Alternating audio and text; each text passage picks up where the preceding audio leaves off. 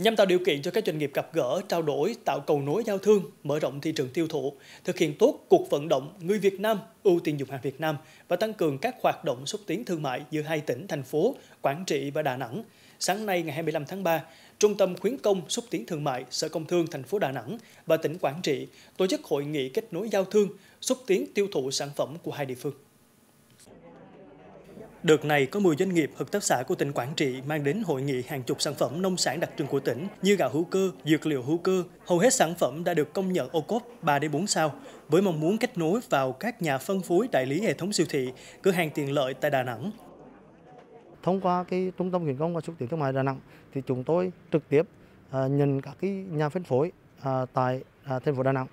À, sau hội nghị hôm nay thì các cái doanh nghiệp của Quảng Trị sẽ tiếp tục trực tiếp làm việc với các cái nhà phân phối để tạo cái sự mua bán giữa hai bên. À, và trong quá trình đó thì chúng tôi cũng hỗ trợ trong công tác truyền thông về cái sản phẩm đặc trưng của tỉnh Quảng Trị.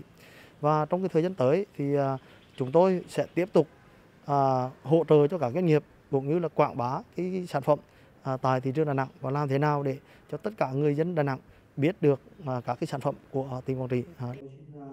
Trong hai năm qua, dịch bệnh không chỉ làm cho hoạt động sản xuất kinh doanh của doanh nghiệp gặp khó khăn, mà còn tác động đến công tác xúc tiến thương mại của hầu hết các địa phương. Dù không phủ nhận hiệu quả mà các hoạt động xúc tiến thương mại kết nối cung cầu trực tuyến mang lại, nhưng được trực tiếp mang sản phẩm đến với các thị trường có quy mô, gặp gỡ những đối tác tiềm năng rất được các doanh nghiệp, hợp tác xã kỳ vọng. Với Đà Nẵng là một cái thành phố ờ, du lịch ờ, và cái mức thu nhập của người dân Đà Nẵng cao. Là mình hy vọng rằng là cái sản phẩm của mình là tiếp cận được cái thị trường này ờ, vào các cái chuỗi